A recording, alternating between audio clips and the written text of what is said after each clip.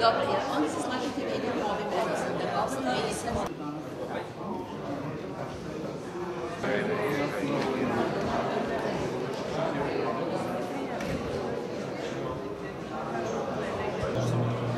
Može. Stane.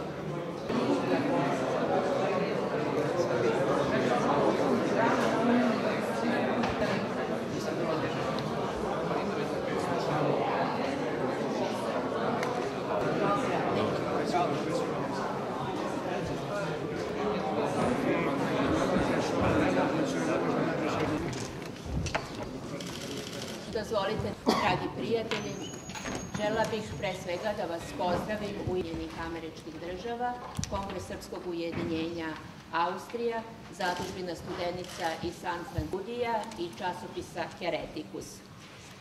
Ja se u ime svih organizatora ovim putem zahvaljujem. Okrugli sto posvećen restituciji je deo tacija i restitucija i koji su Kongres, Zadužbina studenica i Ministarstvo.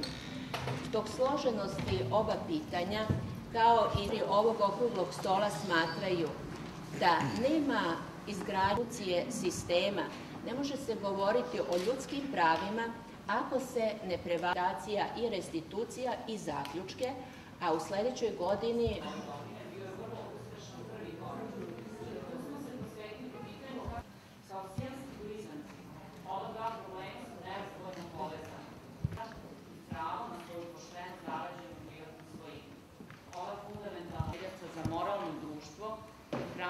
modernu državu.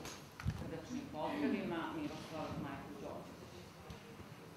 Dragi gosti, dragi prijatelji, imam veliku čast i zadovoljstvo što sam u prilici da vas pozdravim ispred Ministarstva za dijasporu, ali ću isto vreme biti i krajnje iskren. Osjećam i neku, vrsta stida, neku vrstu stida ili nelagode što u svojstvu ministra za dijasporu otvaram konferenciju s ovom temom u Srbiji 2008. godine, zato što čvrsto verujem da je pitanje denacionalizacije i restitucije moralo biti rešeno odmah nakon demokratskih promjena 2001. godine, ali što bi naš narod rekao bolje ikad nego nikad i ja se nadam da smo konačno na pravom putu da se ovo pitanje reši.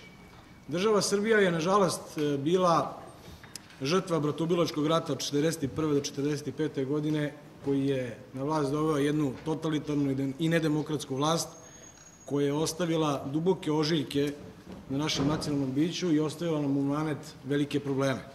Demokratska Srbija 2000. godine pod pritiskom jednog dela i političke i stručne javnosti uspela da neke od ovih pitanja reši, te su se velikim, velikom mukom i uz velike pritiske i rekao bih sabotaže od strana dela snaga bivšeg režima uspeli biti doneti zakon o iznačavanju prava pripadnika ravnogorskog i partizanskog pokreta i zakon o političkoj rehabilitaciji žrtava političkog progona.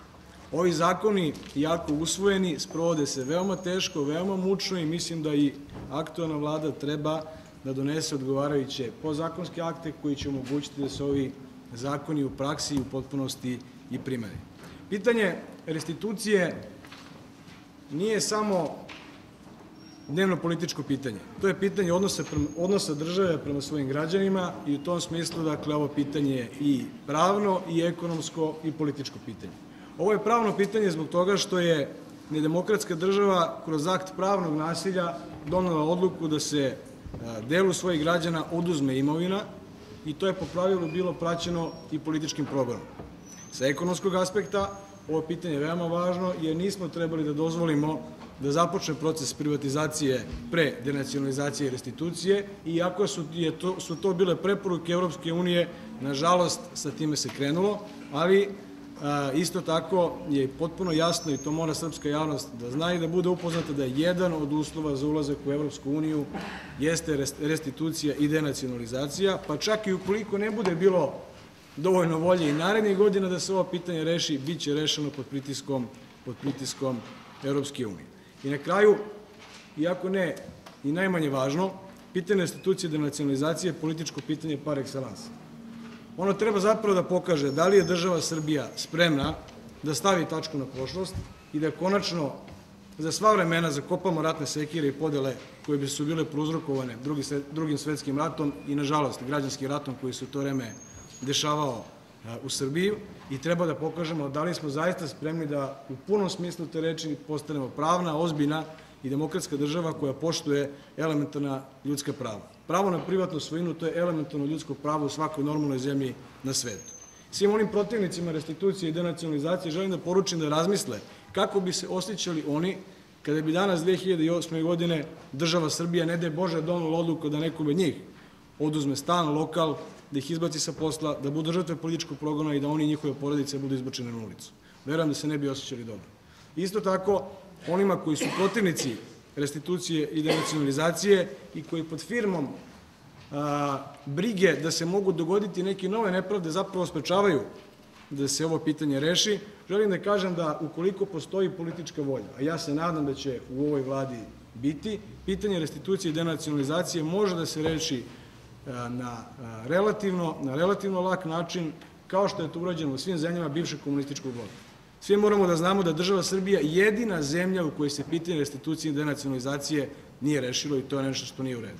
Moje lično mišljenje koje ću zastupati u okviru, kao ministar u okviru vlade Srbije, kada budemo razgovarali o modalitetima da, rešavanja ovog pitanja, naravno bit ću otvoren i raspoložen za sve koalicione dogovore unutar vlade, ali suštinsko a, je pitanje da li želimo, žali želimo da se ova tema definitivno stavi ad acta. Dakle, moj stav je da treba izvršiti natura- naturalnu restituciju, odnosno fizički povraćaj imovine gde god je to nemoguće, a tamo gde to nije nemoguće, imajući u vidu i finansijske kapacitete zemlje i budžetske ograničenja, a naravno i efekte globalne ekonomske krize koje svi moramo imati, im- imati u vidu. Dakle, da drugi deo, a, drugi deo države, obaveza države treba da bude ispunjen kroz a, hartije od vrednosti iza koji će stajati država kao garant njihove naplativosti. Ja se nadam da će, ja se nadam da će današnja konferencija doprineti e, doprineti na pronalaženju adekvatnih rešenja, iako mislim da već jako dugo o ovoj temi razgovaramo i da se iskristalisalo nekoliko mišljenja u okviru kojih može da se nađe odgovarajući kompromis, a svi, a organizatorima ovog skupa i svim zainteresovanim pojedincima, organizacijama, udruženjima koji insistiraju da se ovo pitanje reši, ja želim da poručim u svoje lično ime kao ministar za dijasporu da osjećam moralnu i političku obavezu da se ovo pitanje reši i u meni ćete sasvim sigurno imati najiskrenijeg partnera i saveznika. Hvala.